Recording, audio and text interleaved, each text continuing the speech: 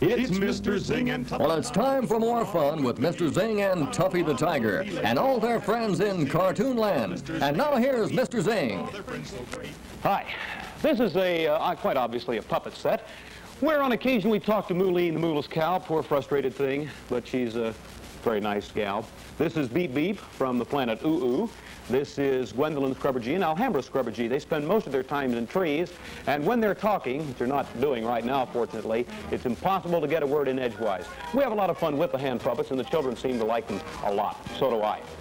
This is a cage wherein, upon occasion, we find Tuffy, our tiger. Tuffy doesn't like a cage too much, so whenever we put him in it, he very easily just takes the door off and away he goes.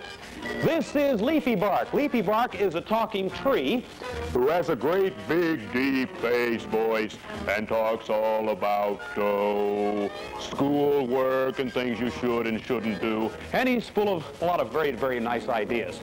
And over on the far side we have such things as uh, Shaggy Dog's Doghouse and our bleacher area where each day we have from 35 to 50 whim, wigger, and vitality filled youngsters from the ages of 1 up to 12 or 13.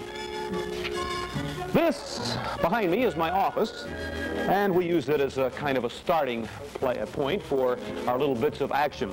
Here I have a unicycle, which I learned to ride a few years ago, more or less. Now let's see if I can get on it. One, two, three, there we go. There. I have a little bit of trouble handling it. Okay, that, that's, that's enough. You got your point across. This is Tuffy, the tiger. Tuffy has been with us since the beginning of the show and a very, very integral part of the show. As a matter of fact, he's a star. This is Shaggy Dog. We've added Shaggy recently, and uh, he's probably the only dog that is filled with a man with a master's degree. now, uh, these two fellows help me out, not only in action, but also they like to, to help me out with little morals like don't hit each other and uh, don't eat with your fingers.